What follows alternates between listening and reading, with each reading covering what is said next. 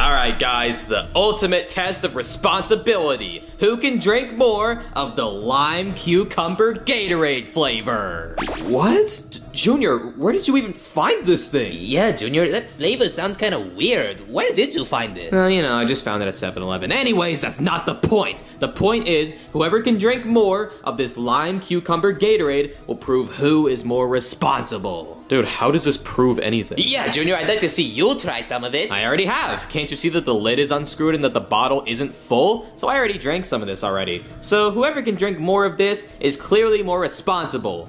For whatever reason you guys are even doing this contest. So, uh, I'm gonna leave now. I, I'm gonna leave you guys do this. What?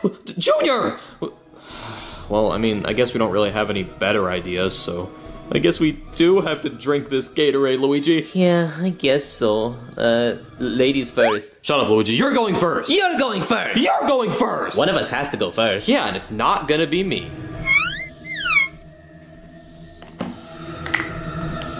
Luigi? What are you doing?